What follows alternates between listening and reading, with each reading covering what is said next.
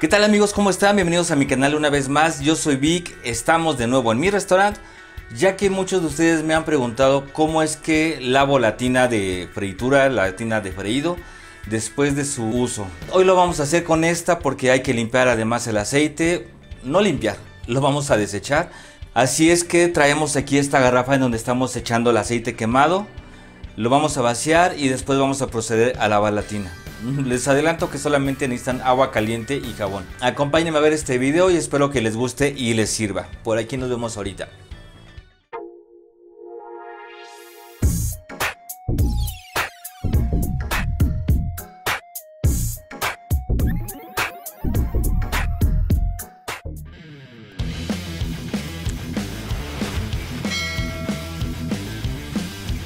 Vamos a colocarla de esta forma tantito para que se siga escurriendo el aceite a una orilla y podamos echarlo todo al envase.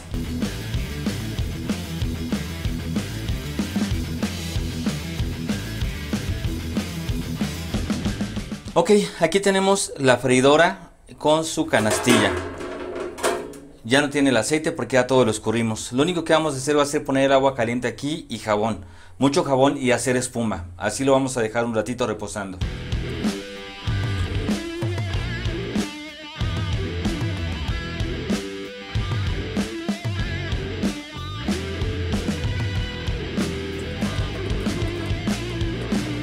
Pueden ver cómo se pone blanca el agua y toda la grasa la acaba de quitar en este momento de ahí del fondo.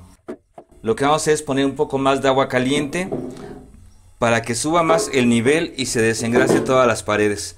Mientras lo que podemos ir haciendo es esto.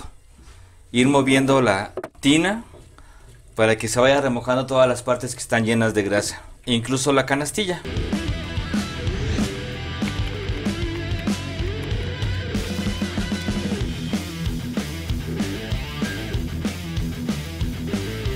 Lo que vamos a hacer también, igual que como con el asador, pues con fibra de metálica, vas a pasarle a toda la rejilla. La ponemos tantito aquí para que ya no se llene de grasa de lo que está, lo que tiene la tina.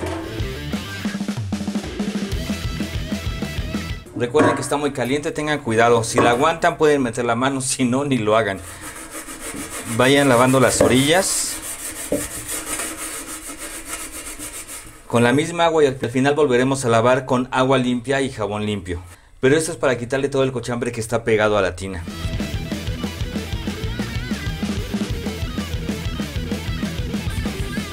Ojalá vieran qué tan fácil es, ya con el agua caliente y el jabón, que se quite todo el cochambre pegado en las orillas.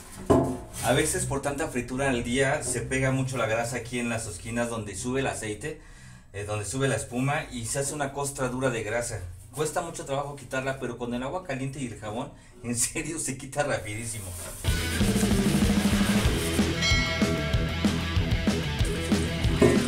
Ahora solamente hay que enjuagarla, quitarle todo el jabón.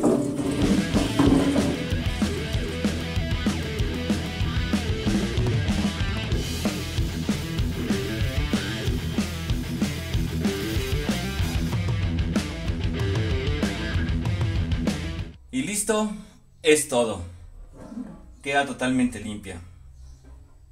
Ahora vamos a lavar la rejilla. Esta ya la había enjuagado hace rato con el agua caliente y el jabón. Pero ahorita voy a volver a usar más jabón.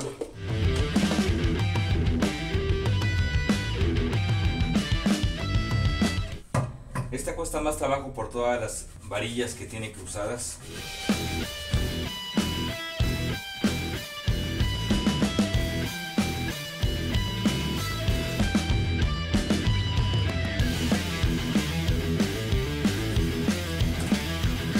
Por último, vamos a usar la fibra metálica.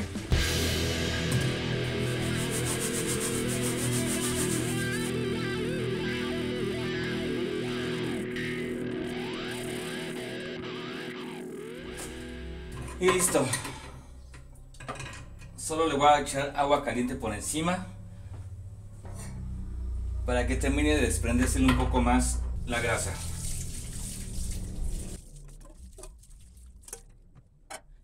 Y listo, terminamos. Ya solamente la enjuago bien con agua fría. Eh, le doy tal vez una pasada más con el zacate y terminamos.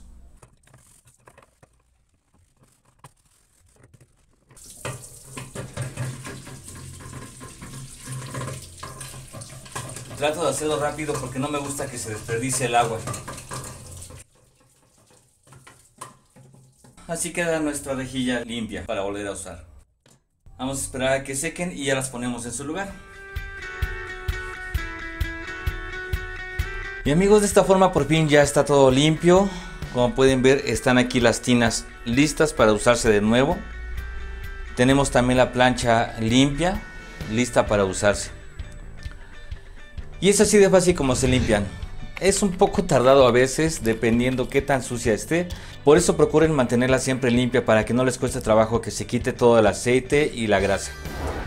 Pues bueno, por mi parte es todo, cuídense mucho, gracias por ver mi video. Por aquí nos vemos en el canal, recuerden suscribirse, darle like, dejar un comentario y compartirlo con sus amigos, con su familia, con quien quieran. Yo soy Vic, nos vemos pronto, cuídense mucho, sean felices, nos vemos, bye.